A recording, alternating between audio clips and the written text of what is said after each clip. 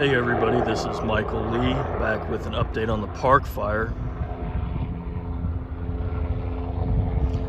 And I'm across the street from the Chico Airport now.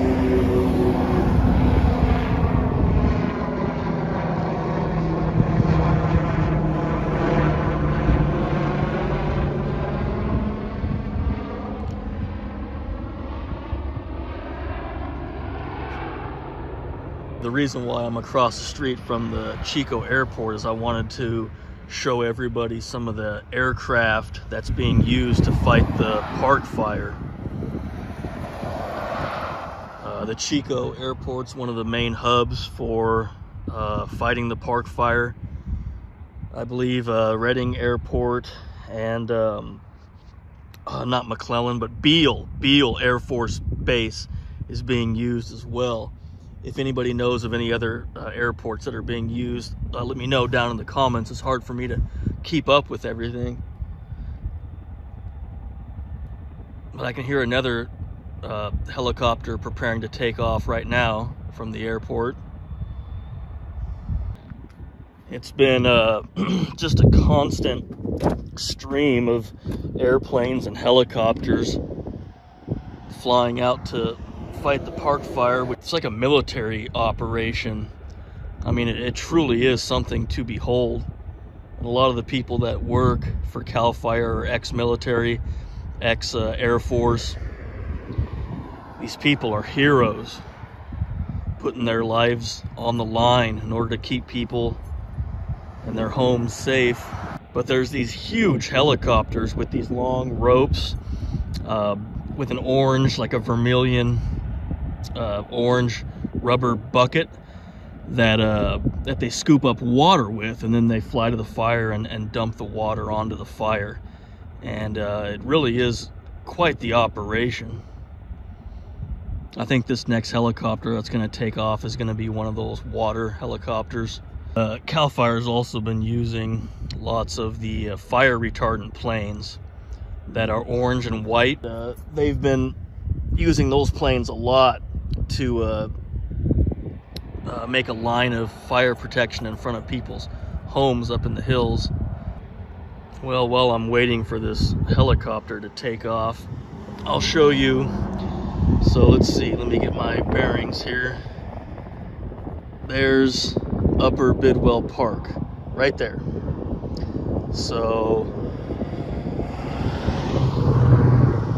basically right behind those that grove of uh, oaks right there. Uh, that's Upper Bidwell Park. There's a little canyon over there, and that's where the 42 uh, arsonist lit his car on fire and pushed it down a gully into uh, Upper Bidwell Park. And that's how the park fire started, and that's why it's called the park fire. Unbelievable but he's in uh, Butte County Jail. And uh, he's going to be there a while. What an idiot, right? Evil. Downright evil. But this is the type of, uh, of landscape that the fire started in. You can see it's just a bunch of dead grass, three feet high, a bunch of dead brush. You got oak woodland, chaparral, you know, blue oaks, buck brush. You got the gray pine or foothill pine. And it's just flammable as heck. The fire return interval historically for the foothills of the Sierra Nevada and the Cascades was four years. So every four years, natural lightning strike fires would burn through. But you can see this is why the fire just spreads so rapidly. Dry, hot, windy conditions. And uh, this landscape is a, is a tinderbox. So, okay, here it goes. Oh, this is a big helicopter. It's got two props. This is, uh, what are those called? Chinook helicopters? Ah, uh, I can't remember. I think these are called Chinook helicopters. Wow, what a big helicopter. Oh man, it's gonna come right over us, everybody. It's got some type of thing hanging down off the bottom of it.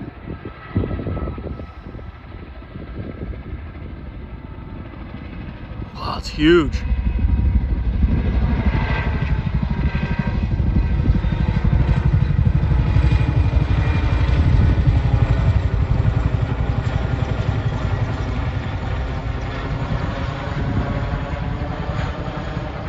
Hose hanging off of it?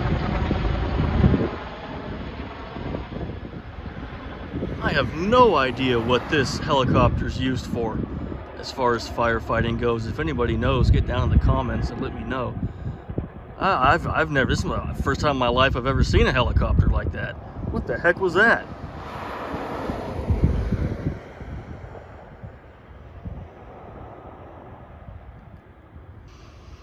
Anyways, the fire return interval historically for the foothills and uh, chaparral of the, of the, Cascades and Sierra Nevada uh, in Northern California was two to four years, and it would lightning strike, it would burn through, or Native Americans would set it on purpose, and the uh, the fire would just burn low intensity, low to the ground, uh, open the land up.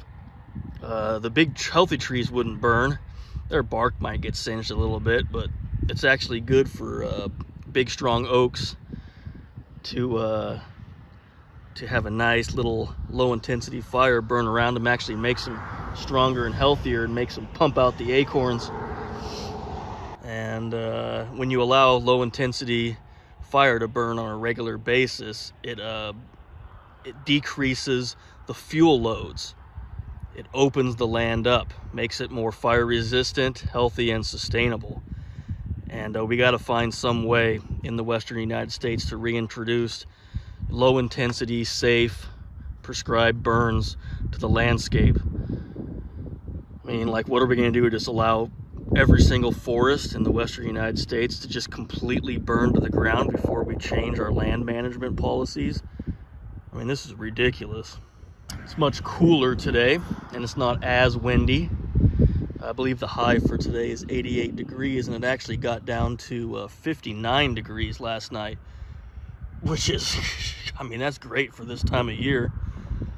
And um, that's going to help the firefighters a lot. It's going to help tremendously. We got this cooler weather.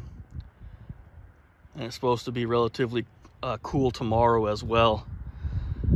And uh, the firefighters are working hard to fight the park fire. God bless these people, heroes. All right, I'll check back in with the next uh, aircraft action.